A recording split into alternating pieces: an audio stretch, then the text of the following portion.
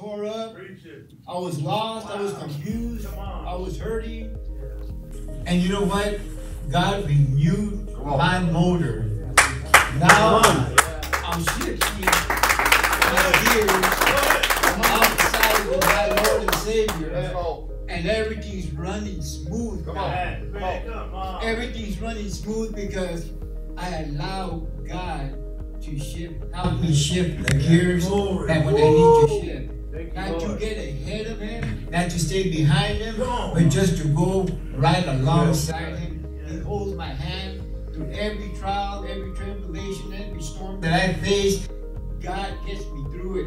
He goes, Son, you can't go around it. Come on. You have to go right through it. Let's go. Let's go. Let's go. And when you go right through it, and when you go through the fire, the fire is not going to consume you. It's just going to burn off the deeds that we piled up in our lives. And when we trust, then that you become that new creation. You know, and it, it's not one deliverance; it's a series of deliverance that we got to go through. Yes, that's right. You know, but it keeps us aware and it keeps us on our toes Yes, and recognize when it does come again, we know how to handle the Come situations. That's right. We know how to overcome these situations. It doesn't toss us like the waves and the seas back and forth. It keeps us steady and going forward, pressing in and going closer, deeper into God's heart. And when we become closer to God's heart and learn how to come boldly into His throne and lay our burdens down and recognize that all we need to do is just worship, praise Him, and exalt His name. Yeah. That's all we need to do because the battle's not ours, It's his. Yeah. It's. His. And all He called us to do is just, hey, Lord, here it is. I'm worshiping you. I'm praising Yes. you because Judah is praise. And when Judah went up to the battle, it confused the enemy. Yeah. Because the enemy was trying to say, what the heck? They're supposed to be torn up. They're supposed to run. They're supposed to be afraid. But you know what? We got a God that goes before us. Let's go. we have people who can be against us. For greater is He is that is in me than He that is of the world. And when we start speaking the word of God, Come on, come on. then we can do all things Yeah. Christ that strengthens us. Right. Okay, that's it. My. That's a word. you know, so you know, eh, you know, right now, whatever you guys are going through, you know, be confident in this one thing that He that begun a Yeah. good work That's will finish it in Jesus Christ. So if you're going through anything, it doesn't matter if you have 10, 20 years, we're always facing some kind of things. But if, when we continue to seek Him with all of our hearts, minds, and souls, you know what? It builds our faith. Endures. Uh, said, heart, hardness. You know, is to be inflicted for a good soldier for Christ. For a good soldier. So if you thought that you were gonna walk in the park, now, you know, now you're in the wrong ministry right here. Because you're gonna go through some stuff. You're gonna go through some trials. Because my God says you will have trials and tribulations that he has overcome, right? Right. He has overcome. So it's your choice. You can stick with your trials and tribulations, or you can follow him that overcame for you and me. Because that blood that was shed in Calvary washes us and makes us pure and clean as white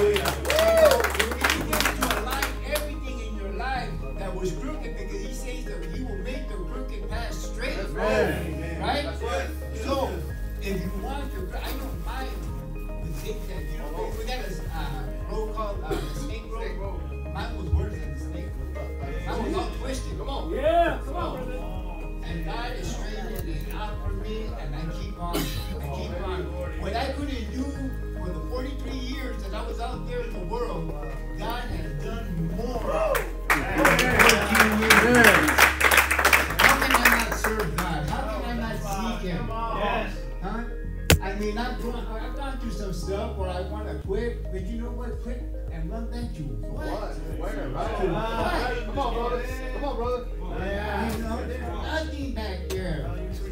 I see what's up ahead. Oh, and I see where he's brought me out of. And I Man. know that he can get me where I need to go to. Right. And God is so good. Yes, he is. God is so good. He will never fail you.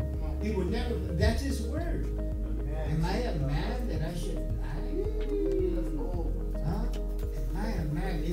Said it, that settles it. That settles it. If it's His will, it's His will. He knows. I know at first I always thought, you know what? I want a car, I want a house, and I want Lord, because I was just in a little apartment. I wasn't married, not married to a nurse, you know, that Pastor said. I got my own house, I got my vehicle. I go, that You know what I'm looking for now? I'm looking for the peace, the joy, the love, and the mercy and grace. That's what I want in my heart. Because that's the peace that surpasses all understanding. And when you get filled with that peace, nothing's gonna move you. go. Nothing's gonna move you from searching and seeking God. Amen. Amen. Let's make time. No,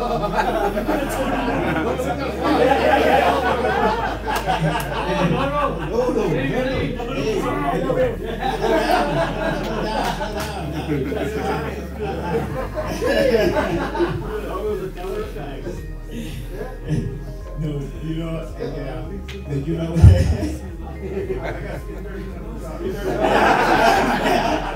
all right, all right, all right. No, but you know, ay, ay, ay, telling you. But you know what? I like.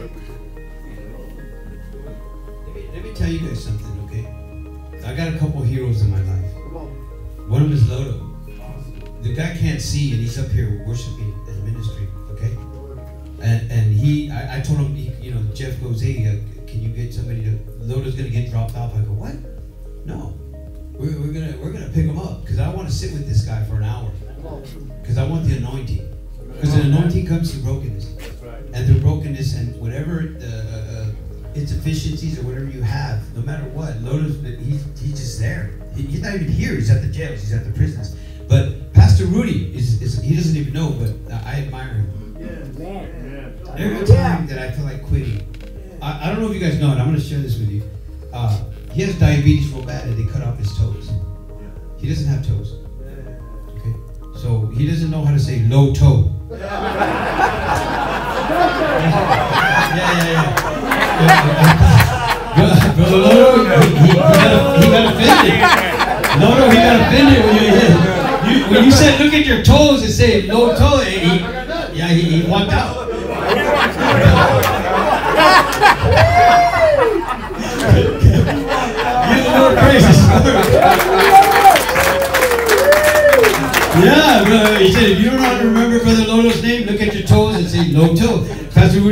He walked out. Yeah, yeah, no, no toes. so he said, no, no, no, so your name's not low toe, it's no toe now. But, but, but you guys, uh, Pastor Rudy, you know, uh, where's Adam? He, he, he's at the he's at the men of prayer on Mondays, right? He was there every Monday in Sanger, and he's there with us. He's over there at the church. He's on he's on Mondays prayers. He's on Tuesdays, on Thursdays. He's probably the most uh, faithful, dedicated, loyal person that I've ever had in my ministry, and with with no toes. Take off your toes and show. I mean, your feet. no, I did. I've had him take. Show us. Show. You're crazy, Johnny. Hey, but yeah, no, no, no. But you guys, I just want to share that that I'm, I'm very proud of him because you Amen. couldn't have a you know a, a better brother. You know that there's a brother that's there's a friend that's closer than a brother. Pastor Rudy, I just want to thank you and, and honor you in front of all these men of who you become, who God has made you, and how you've overcome these. It, last night his sugar was at 50. Yeah, that you, you know that Johnny, right? That's low. And why was it so low? He goes, because you asked me to speak. the sugar went down. But, but but in all fairness, I did. I really asked him last night. At was it ten when we finished? Ten o'clock, and he came up here and spoke. And uh, I want to thank you not only for being a teacher and a preacher, but a friend. You guys touch it?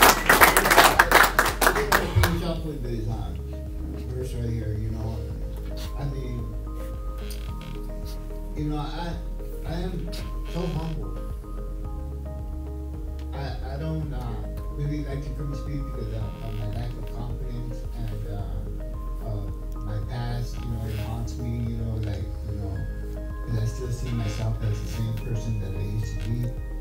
And I don't. I wouldn't want to say something that would steer you guys wrong because um, the pulpit is not something to play with. Come on. Right. And uh, you have to have a lot of respect because you're standing and representing God. Right.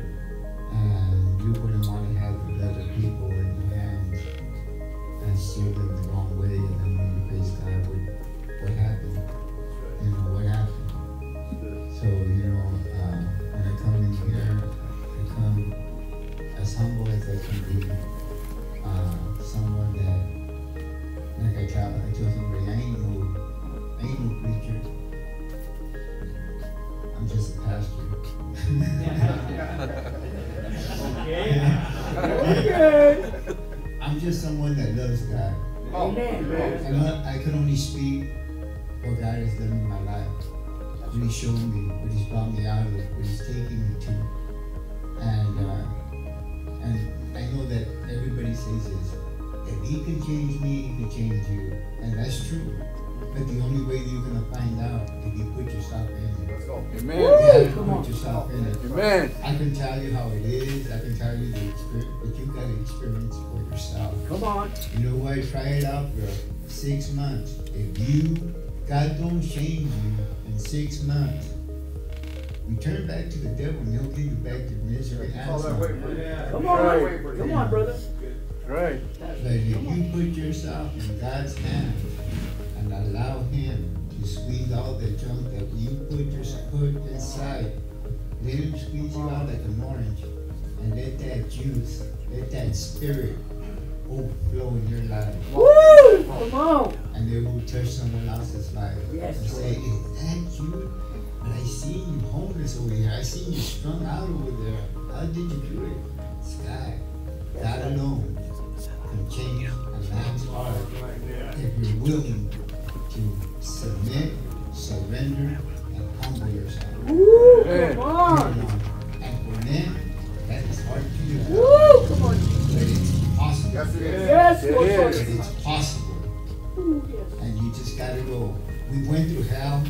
And we're in the streets. You know what? We don't have to go to hell with God. But He'll strengthen us to fight the good fight. Let's go. And run the race Come on, baby. that Come on. Come we're on. supposed to run. Yes. And you know what? And it's, you know, a trench is hard to dig. It's hard. But when you start digging, and you start digging for God, Come on. and you dig, and you dig, here comes your wife you. Come to on. And then here comes your children. And then that trench becomes wide.